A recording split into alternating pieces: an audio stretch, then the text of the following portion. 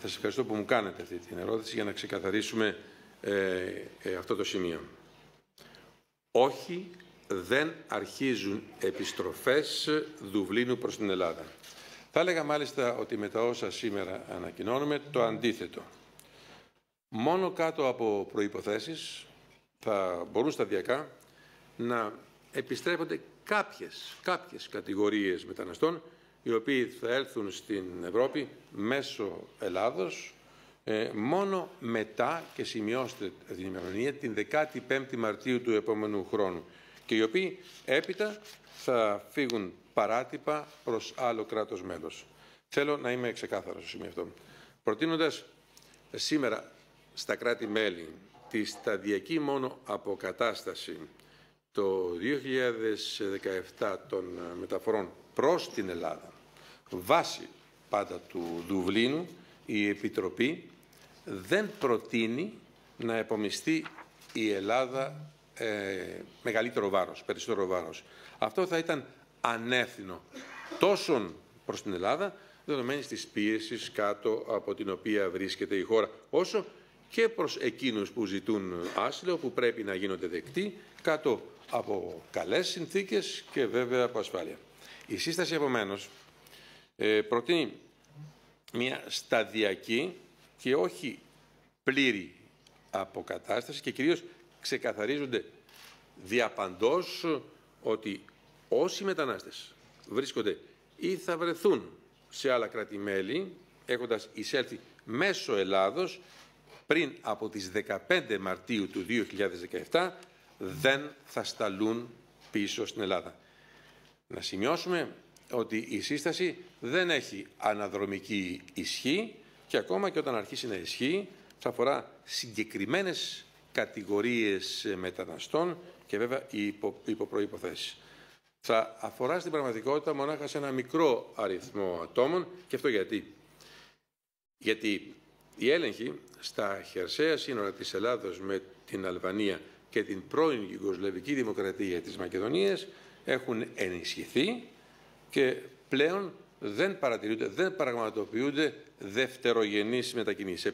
Πλέον η Ελλάδα, όπως γνωρίζετε, έχει ζητήσει ήδη την ανάπτυξη της ευρωπαϊκής σύνοριοακτοφυλακής, κάτι που ήδη βρίσκεται σε εξέλιξη. Αυτό σημαίνει ότι ήδη τώρα και σίγουρα πολύ πριν από τις 15 ε, Μαρτίου, κανείς μετανάστης δεν θα μπορεί να φεύγει παράτυπα.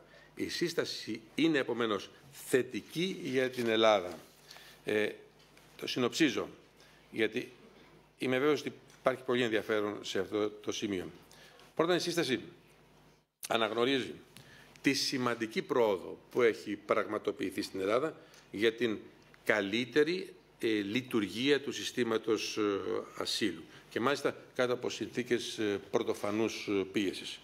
Μέσα σε ιδιαίτερα αντίξωες συνθήκες και με τη βοήθεια της Επιτροπής των Ευρωπαϊκών Οργανισμών, δηλαδή των δικών μας agencies και των κρατών μελών, έχει γίνει αναμφισβήτητη πρόοδος. Εξάλλου, σήμερα ε, ανακοίνωσα επίσης τον τερματισμό της διαδικασίας επί παραβάση κατά της Ελλάδας σχετικά με την εφαρμογή του κανονισμού ε, Eurodac. Ήταν μια εκκρεμότητα που κρατούσε για πάρα πολλά χρόνια. Το ποσοστό ε, λήψεως δακτυλικών αποτυπωμάτων έχει φτάσει και για την Ιταλία αλλά και για την Ελλάδα στο 100% για όλες τις ε, παράτυπες ε, ε, αφήξεις. Δεύτερον, η σύσταση, όπως είπαμε, δεν ισχύει άμεσα, αλλά από την 15η Μαρτίου αποκλείονται οι επιστροφές που εκκρεμούν και δεν προβλέπονται άμεσα επιστροφές. Τρίτον, ακόμα και μετά τις 15 Μαρτίου θα αφορά σε συγκεκριμένες κατηγορίες από τους ελάχιστους που θα καταφέρουν να παρακάμψουν τους ελέγχους και υποπροϋποθέσεις και με εγγυήσεις και με τη συνεργασία της Ελλάδας. Τέταρτον, αν ο αριθμός των αυξήσεων ε, ανέβει, η Επιτροπή προφανώς θα αναθεωρήσει την αποφασή της. Και να προσθέσω ότι όλες οι άλλες εκθέσεις πρόοδου που σήμερα παρουσίασα συνδέονται άμεσα με αυτή την ε, σύνδεση. Δηλαδή, η ανάγκη επιτυχούς εφαρμογής τους δήλωσης Ευρωπαϊκής Ένωσης Τουρκίας, όπου έχουμε μείωση των αφήξεων και αύξηση των επιστροφών, τη σταθεροποίηση των ε, ικανοποιητικών αριθμών μετεγκαταστάσεων από την Ελλάδα και την Ιταλία και η ανάγκη βέβαια άμεσης αποστολής εμπειρογνωμόνων για την επιτάχυση των διαδικασιών στα πλαίσια τόσο της δήλωσης όσο και της μετεγκατάστασης. Εκεί λοιπόν βρισκόμαστε, είναι ξεκάθαρο αυτό που γίνεται σήμερα και δεν αφήνει κανένα περιθώριο για διαφορετική ε, ερμηνεία.